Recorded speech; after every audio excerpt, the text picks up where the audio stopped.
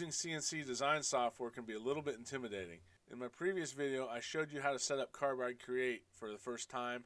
Today, we're going to actually design a cutout for your CNC machine. I'm going to go step by step through the process so that you can get started easily and not be confused and intimidated by the process. So let's get started.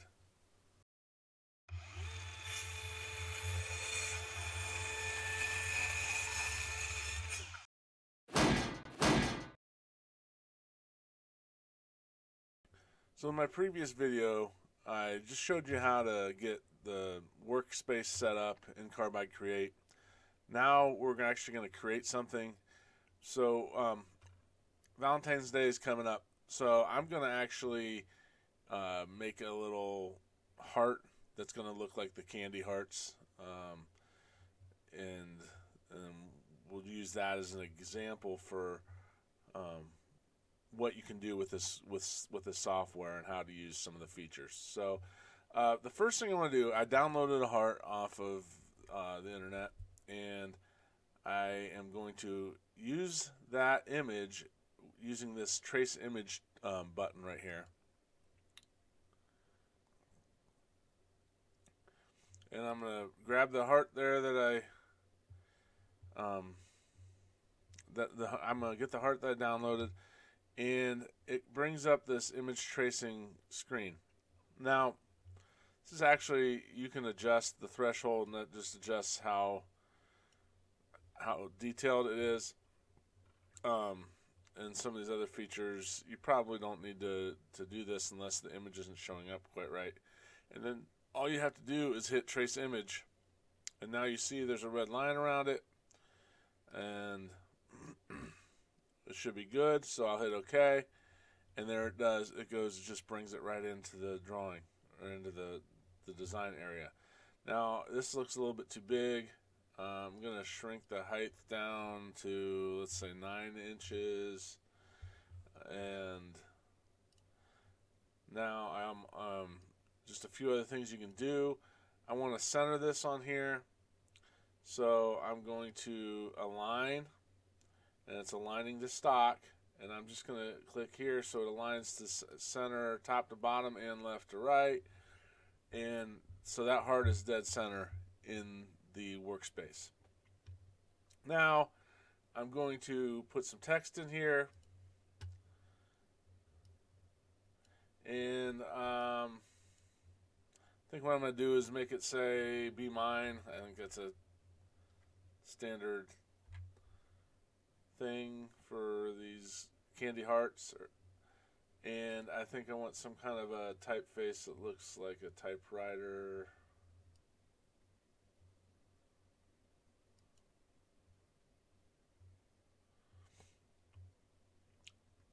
So we'll, we'll try cur courier. And I want to change the height to, let's see what 1.5 inches looks like.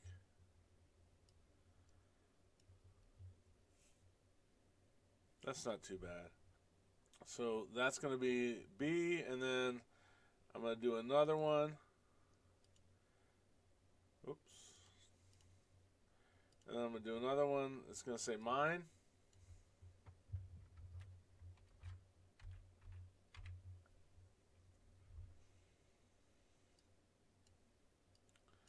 And the height is right, the font's right, so it continued exactly what I had just done previously.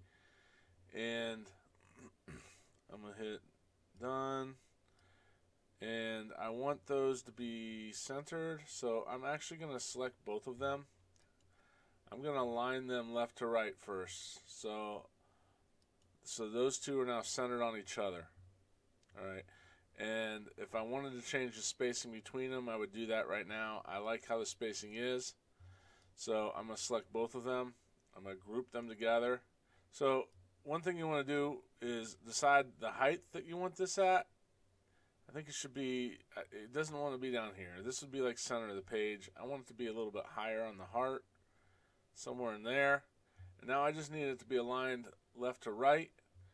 And the way I'm going to do that is just by because the heart is already centered on the page, I'm just going to go align centers and hit this, and it shifted it over a little bit to line it up with the center of the page. So now we have the heart, we have the lettering. I now want to go to toolpaths. So I'm going to create a toolpath. The first thing I want to do is I'm going to cut out the words. So I'm going to select those and I want to use one of my V-bits. Uh, V-bit looks more like it's carved. Uh, I like to use it for lettering. It looks really nice. You wouldn't have to, um, but if you don't, you'd have to make sure you have a bit that's small enough that it'll get down in all those little grooves. Um, so you get a lot more detail when you use a V V carve. So and also like anytime you have a corner that's squared off, which this lettering maybe like the corner of the the dot above the eye would be squared off. The V groove um, will square those off. If you don't have a V groove, it's going to be rounded because the bit is round. So, um, or at least it'll have the appearance of it being squared off. So, because they can use that that point that's on the bit. So I'm going to do a V carve. Would you like to use the currently selected items or select by layer? We're going to use the current selection. Now this is where your bit comes into play. And in the previous video I talked about going in and setting up your tools. So um, Alright, so here's where you would select your tools. Um, I don't actually have my tool library set up on this computer because it's my home computer that's not connected to the machine. So if I were cutting this out and I designed this at my shop, this is where under tools today is where my bits would be and I would go to the V-mill and select the V-mill bit that I want to use. Uh, because I don't have that, I'm just going to go and I'm probably going to cut this out of pine. So I'm going to go to softwood, that are the pre-curated ones. And I'm just going to pick a 60 degree V.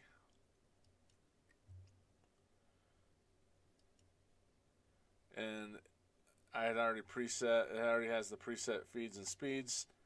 And I usually leave this this stuff, whatever it is by default.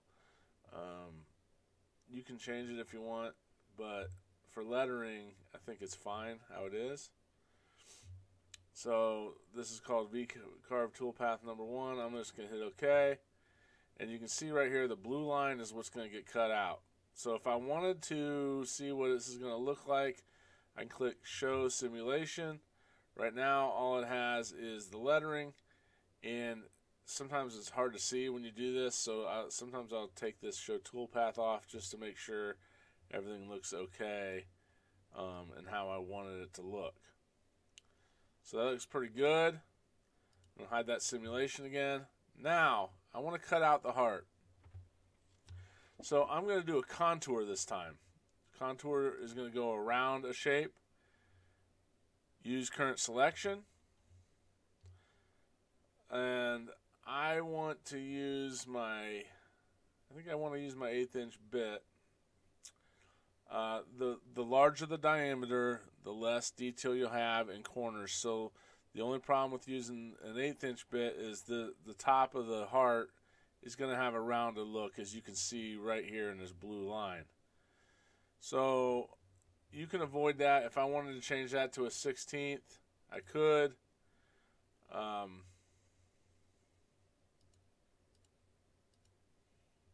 so here's a 16th and it reduces how much of a round, but it's still going to be round. Uh, the problem with the 16th is it takes longer to cut, and there's a lot higher chance of breakage of the bit, which I want to avoid at all costs. I want to go back to the eighth inch. I'm happy with just going with an eighth inch.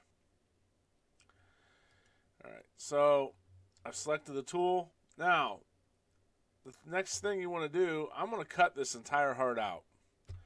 So if you're going to be doing that, the best thing to do is click right here, use stock bottom, assuming that this piece was a half inch, it's going to go down to 0.502 as the depth. And I must have had that set as my thickness. So um, we're just going to leave it at that. You would want to change that if your stock bottom was anything different. I've found it's actually a little bit, it's better to go a little deeper than what the thickness is because for some reason when you set up the depth or the zero on the top surface of the board, sometimes uh, when it cuts down through, it doesn't quite get through, and then you either have to sand the backside. You have a few issues. So um, if you if you set a little bit deeper, it's going to cut into your spoil board, but it's saves you a lot of work at the end too, um, because then you don't have to figure out exactly where the cut is when removing it from the uh, board. So we're going to use stock bottom. Now, it asks you where you want to cut this. Do you want to cut on the inside or the outside? I, if I'm cutting a shape out, I always cut it on the outside. So there you can see, outside cut. Um, and then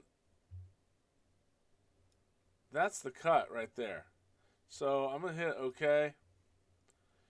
So we have two different cuts. Now we have a tool change here. So the way you have to handle the tool change, and this took me a little bit to figure out, is you have to create another group. So one group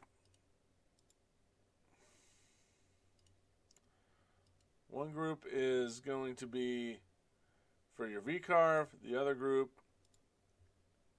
is going to be for your um, contour.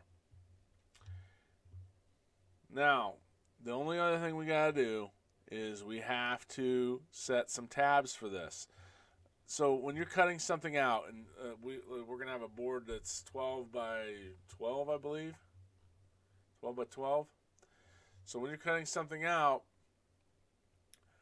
uh, you have to make it so that the the workpiece, whatever you're cutting out, remains attached to the outer part. If you don't, once that cuts through, it's going to move around inside there, and most likely it's going to break your bit because it'll bounce against your bit and it'll snap it, or it'll mess up um, what you just cut out. So we have to go back to the design, and I'm going to click on the, the heart, and I'm going to add in some tabs. So you go to the edit tabs and I just want it. I want to create a few, and those tabs are just going to hold it in place. And then you cut those away and just a little bit of sanding, and you never notice them. Uh, I like to put them on places that they're easy to sand out. So outside curves are easy to sand. Inside curves are not easy to sand. So as this comes down towards this V, it gets a lot more difficult to sand them out. Also, this this looks like this heart's kind of bending back out. That's kind of an outer curve or an inside curve. I would avoid that. So I think a tab here, maybe a tab up here, somewhere up here, and somewhere down here. And that should be plenty to hold that whole thing in place so that it doesn't break. If you didn't like one of the tabs, you can click on them and they disappear. So if you wanted to move it to a different spot, that's all you have to do. I'm going to hit OK. Go back into the tool paths. And I want to show the simulation again. You're going to see it's going to cut out the whole way through. And you can see the tabs are already pre-planned right in here that'll hold it together until you're done. So then once you would you cut this out, you would just go um, cut those off and and it'll look like a heart again. So that's what we're going to do. And it's pretty simple. And that's about it. So I'm going to hit Save Toolpaths. Actually, I need to save this file first. So save. Let's call it uh, Valentine Heart or Candy Heart.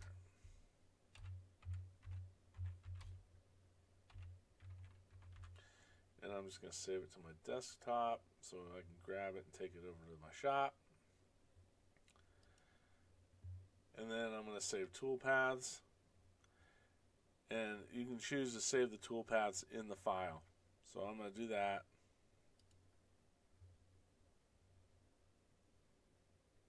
That's all you do. It is a little bit intimidating when you first start using it, but it really once you get into it, it's not that hard. And honestly, they've made a lot of improvements since I first started using the software. I don't believe you could bring that image in before and trace it.